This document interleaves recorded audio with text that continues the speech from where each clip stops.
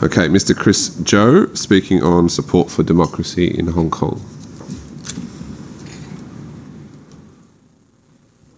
Hello, my name is Chris Joe. Um, I might need the interpreter, but he Sure. Well, thank you, Councillor Kim.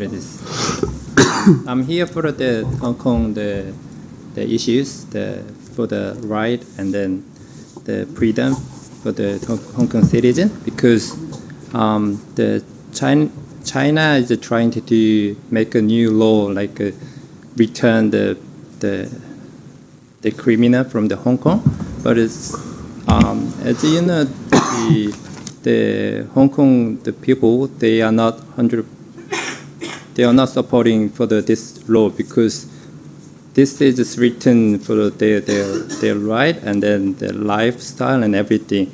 Um, this issue is very important for the democracy because um, the, when the Hong Kong returned to the China 19 uh, like 30 years ago, they have the law uh, against um, following the, the law. The can you read this?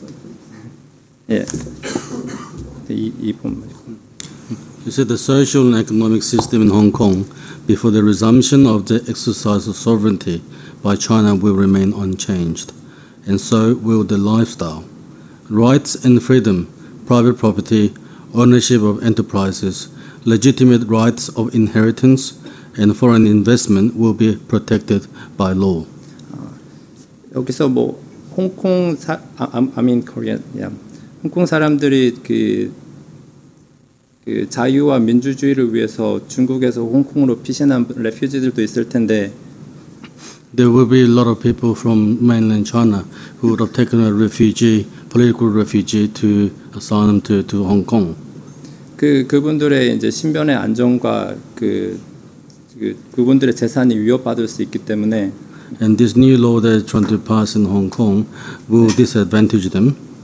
여기에 이제 적극 그 시민들과 그 시민들을 서포트하고자 제가 나왔습니다. And I'm here to speak um, opposing uh, uh, such law in Hong Kong. 아, 그거는- 네. Thank you very much. Thank you. Thank you.